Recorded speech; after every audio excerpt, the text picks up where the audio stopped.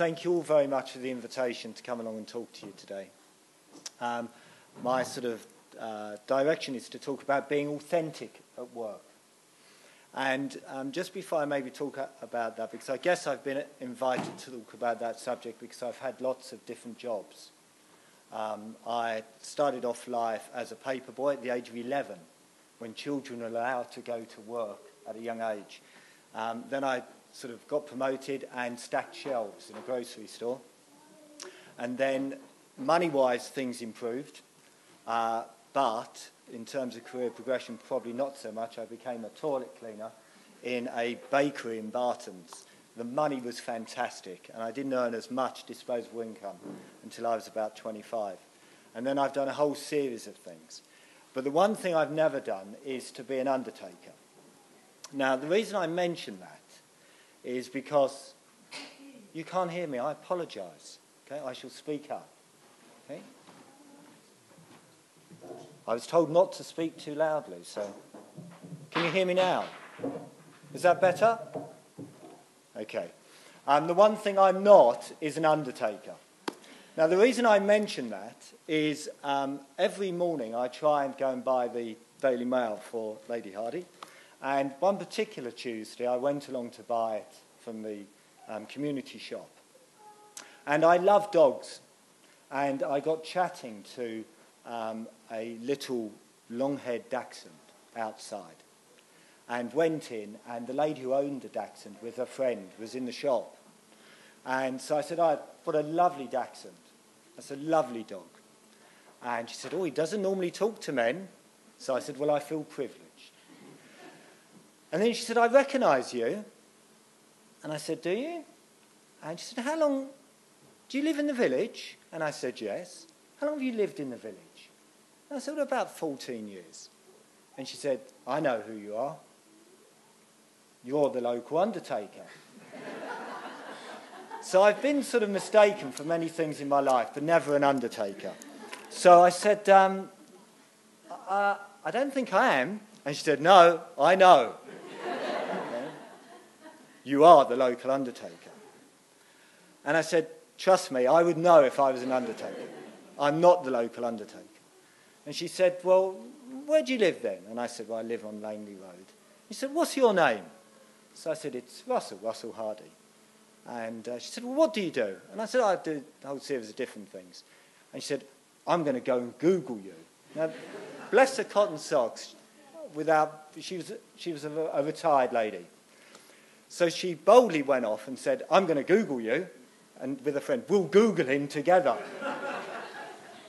Fast forward, forward two weeks, I'm in the shop again, and the lady's there, and I'm thinking, just going and buying my Daily Mail again.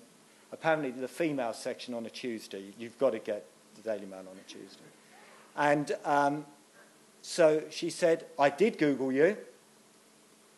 And she said, all these things came up of what you do. And I looked at LinkedIn. Now, LinkedIn is the thing which business people, it's like a Facebook for business people, and it has your CV. And she said, You do this and this and this. And I said, uh, You sure you've got the right man? And she said, No, it's definitely you. And I said, No, no, you got the wrong man. I'm the local undertaker. but um, the relevance of that story is um, that I do do a lot of different things. I think at the last count, I've got about seven different jobs and I mainly deal in healthcare and charity now.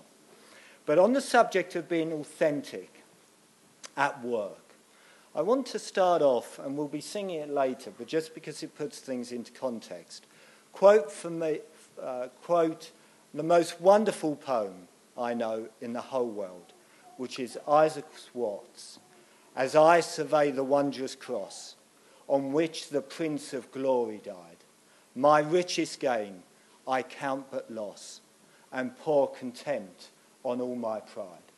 Forgive it, Lord, that I should boast, save in the cross of Christ my Lord. I'd like you to hold that in your minds. So, being authentic. I grew up in Essex. I'm an Essex boy. I come from Basildon. Um, if ever you're going down Essex and you come across the sign for Basildon, I suggest you drive straight past and go and visit somewhere nice like Southend or Shoeburyness. Basildon is not the best place to um, be, but people from Basildon, excluding myself, are generally a good sort.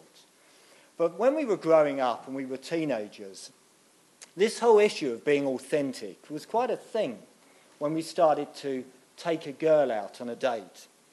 And we developed a way of talking about one another, which was to talk about how much, what percentage of ourselves we were being.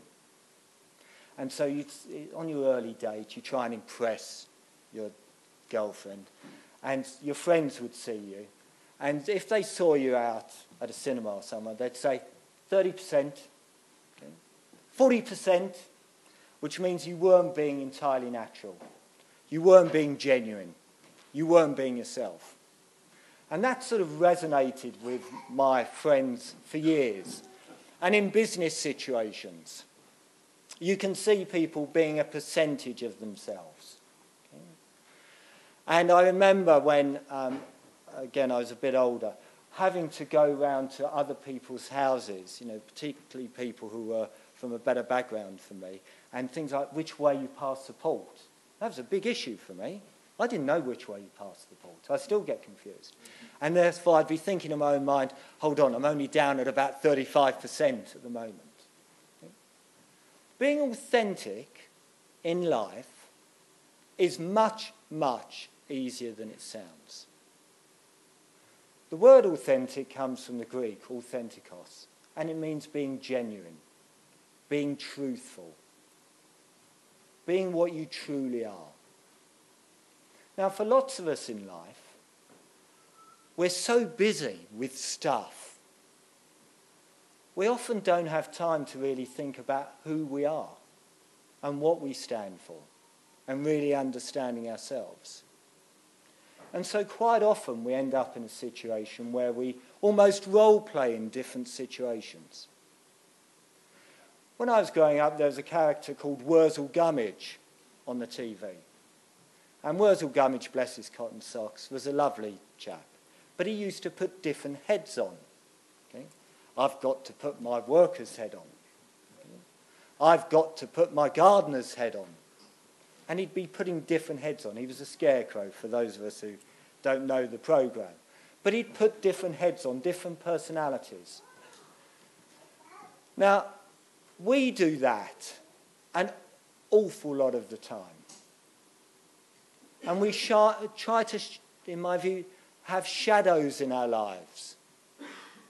And that verse from Psalm 36 talks about God's light shining down on us and providing light. We can be and pretend to be different things to different people. We can pretend to be different things occasionally to ourselves. We can pretend to be more righteous than we really are. But the reality is, with God, God knows us in our purest form. There is no single aspect of our life, no matter how embarrassing it is, that God doesn't know about you as an individual. And you start off feeling a bit awkward about that. But for me, that's immensely liberating. To know that we've got a God in heaven, our Father, who understands us in our purest way.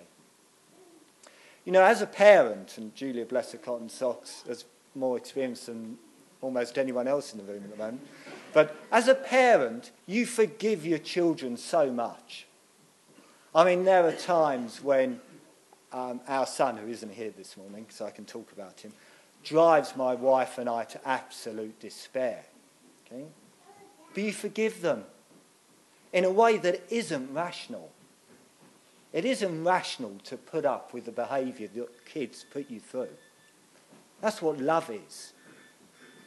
But in heaven, apart from Morse code going on, in heaven, we've got our Father. And our Father forgives us. But there's one requirement. And that one requirement is that we believe in his Son as our Saviour. You know, to get the forgiveness of God is not difficult. You don't need to go to university. You don't need to have gone to the right school. You don't need to have had the right background. You simply need to believe that Jesus was the Son of God, that he died on the cross for our wrongdoings, that he rose three days later and is in heaven now. If you believe that, you're in. Job done. It's not complicated. There's no such thing as purgatory. There's none of that other complicated stuff. There's a purity of grace given to us in the form of Jesus. That's our God, our Father, and He understands all of us perfectly well. But we do get embarrassed about stuff, and we particularly get embarrassed about being a Christian quite often. One of the real joys, we, um, a group of us, have a Thursday night. It was called the Young Men's Bible Study at some point. But now a number of us are in our 50s. It seems a bit of a, an oddity calling it that. But every Thursday night, anyone's welcome. Uh, we have a prayer meeting round at my house. Um, it's not the Undertakers. have a prayer meeting at our house. Um, and then every couple of weeks we do a bit of Bible study, and every fourth week we have a curry down at the Tandoori in Arden. But over the last year, we've had three great new individuals join that group. One of whom is Alistair, one of whom is Russell, and the third of which is John. Now, John and I share an affliction, and that affliction is we're both Manchester United supporters. And John very kindly um, lent my son and I his season tickets. So we went along to Old Trafford about a month ago. And the great thing arriving at Old Trafford, and it's replicated around the country at football matches, was that um, people put their scarves on, Manchester United, and I think it was Liverpool that day we were playing. Everyone put their scarves on, puts their hats on, and they're really proud to be associated with that team. There's no embarrassment. Even if your team's losing all the time, you put on your scarf and your hat. Now, as Christians, challenge number one how embarrassed are we to proclaim our faith? You know, if we're being bold, we might be quite proud of ourselves putting a little fish on the back of the car, okay? or a sticker on the back of the car. But quite often in social situations, we hold back from talking about our love for God and what Jesus has done for us. And one of the things I've learned is the more you're willing to talk about the Lord in social situations, you'll be amazed at the conversations that open up. And one of the great things about John in particular is John gives us outstanding witness at work, which he often shares with us on our Thursday nights. And is a real example of a truly authentic Christian. And I take my hat off to you, John. So being authentic, you know, it's not easy. We do need to challenge ourselves. But we shouldn't escape the reality that God knows all about us, all about those things you try and hide from your partner or hide from people at work. God knows us entirely and still loves us. Now, on the subject of work, you know, I think Phil touched on it. You know, we talk about work, and I think the original idea of today was to talk about careers, and I'll come back to that. But all of us have a job of work to do. You know, whether that's, and I again bow low before Julia, looking after the children. You know, any time I've looked after children, I want to, like Wurzel Gummidge, pull my own head off and run away. It's not easy. The idea of staying at home with kids permanently. Any mother who does that has my utmost respect. That's really hard work. Going to the office and having a chat over a cup of coffee about strategy and all the different things you need to do at work pales into ease compared to being a mum at home. Okay? We all do different work. But for God, He's not interested in careers and that type of stuff. Because as Phil indicated, God's great command to us, the Lord's great command to us, to the disciples, was Go ye forth into all the nations, baptizing them in the name of the Father, the Son, and the Holy Spirit, and teaching them of my commands. That's what that's the last thing the Lord told the disciples before he went to heaven. And there's a lovely bit in Ephesians where Paul says, and this for me is a really nice sort of way of thinking about the work that God wants us to do. He said, Be kind and tender hearted. Be kind and tender hearted. They're the things that are important to God, not our careers. But particularly for men, and I think it is an affliction of, often of men, careers can be like a seduction. You go to work and you think you're important because you, you've got this job, and then you get a pay rise and you feel even more important and a different job title, and then you get a company car. Okay, company cars are great. Okay, I'm really important. Then you get a bigger company car. Okay? My company car is better than his company car in the car park. That makes me even more important. And it becomes seductive. And then you're told about this really important project that they want you to do at work, and you're the only person who can do it. So you go off and you work even more hours. And then you find that your relationships at home are going upside down. You find your relationship with your children is going upside down. But more importantly, you find your relationship with the Lord is going upside down. The stuff you do at work to progress your career, trust me, I've been very blessed with a career, um, is unimportant to God. Because He didn't say to me when He saved me and died on the cross, Russ, I really want you to be a chairman of this company. It's totally unimportant. Being authentic as a Christian is what is important to God. And the way I try and get round the challenge of work and be a, a, Christian is quite often to try and introduce Bible stories into my work. And we were talking about this the other week at one of the Thursday nights. So if, I'm, if we're talking about a point on strategy, I'll introduce a bit of the Old Testament. So, for example, if we're um, talking about a, a new project and everyone's hesitating, I'll say, well, we need to be like Joshua. And so everyone around the ball table looks at me and thinks, what's he talking about? Who's Joshua? So I'll say, well, Joshua was, of course, the person who took over from Moses after uh, Moses died and was leading the people. He led the people into the promised land. But before they went into the promised land, Joshua was really uncertain whether to do it. And God had to tell him three times to be strong and courageous. And that's what we need to be on this project. We need to be like Joshua.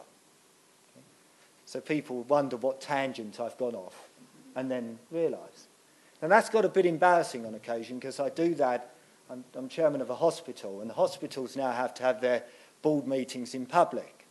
And so at my board meeting, I hope no one's here from the press, um, but I do know this is going on the YouTube.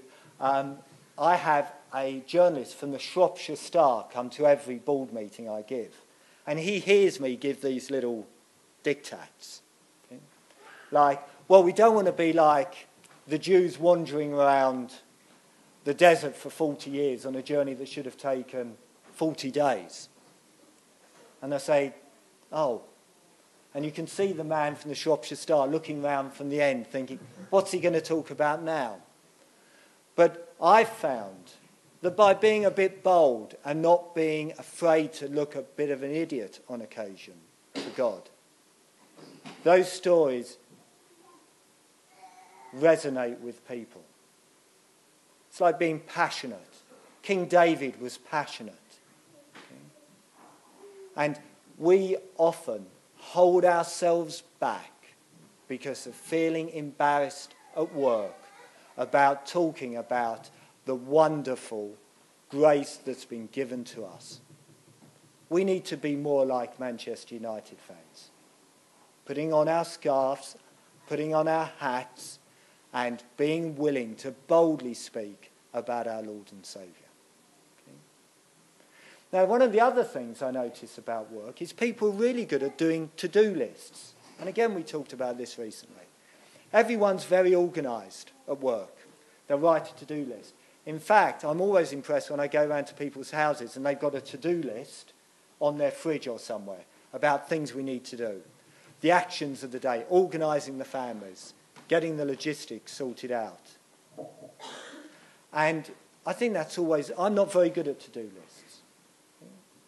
But how many of us do a, a daily to do list for the Lord? How many of us actually just write one thing down in the morning that we're going to do for the Lord? I bet you when you go to work, those of us who go to work, will write down a whole bundle of things that we need to do that day.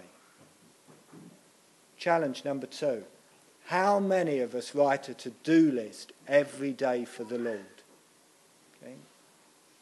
If we did that, everyone in this room, the impact would be enormous. And the third thing I learned from work is it's always important. And when I was a young man, I thought I knew it all. Young men often do. And so I'd always be a bit awkward about going to my boss and saying, actually, I'm not sure what to do here. Can you help? And I had a wonderful boss when I worked at Unilever called Les Pickles. He's probably dead now. He probably never expected to be on an audio tape on a sermon in Claverdon. But Les Pickles was a wise old soul, and he was really good at helping young men lose their ego a bit and come and ask for help. And he did it in a very nice, gentle way.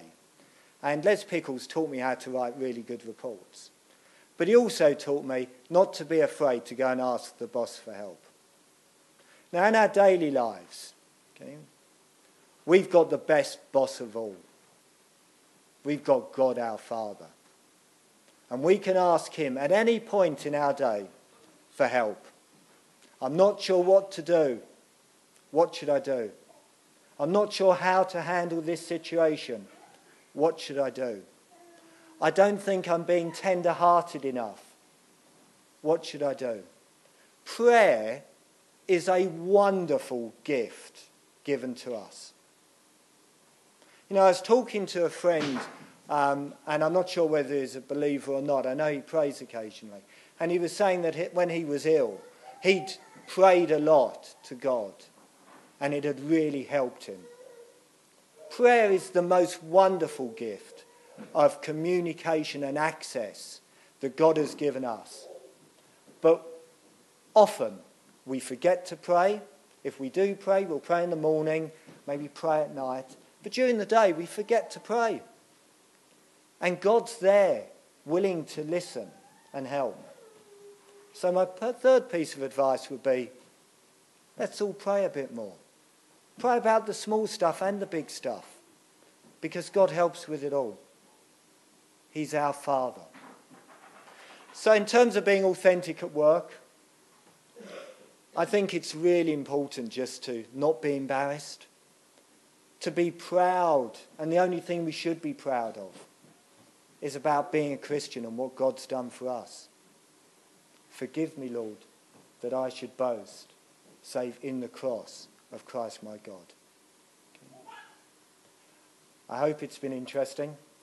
Just a final reminder I'm not an undertaker. If ever you do need an undertaker, apparently there's a very good one down in Henley-in-Arden. And even Phil said to me when we were talking about today, actually, Russell, if I saw you in a hat, an undertaker's hat, I can see the similarity. So you won't be seeing me a hat like that. The Lord bless you. Thank you very much.